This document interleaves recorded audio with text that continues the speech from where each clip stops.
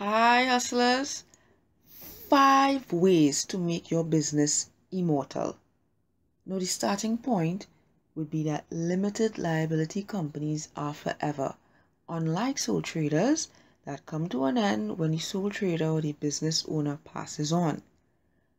Well, number one, you can write and publish your book. It can be about anything, it can even be about your business.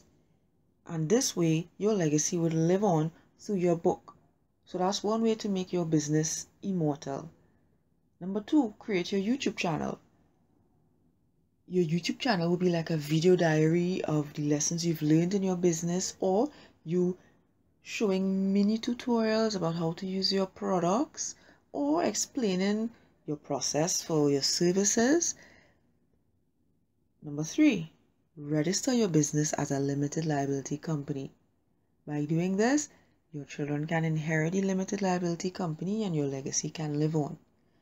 Fourth thing you would want to consider to make uh, your business immortal would be to create a will and state clear instructions on how you want to pass down your your company. And number five, you want to create a manual with your company's systems and processes. This manual should be uh, in plain language, easy reading.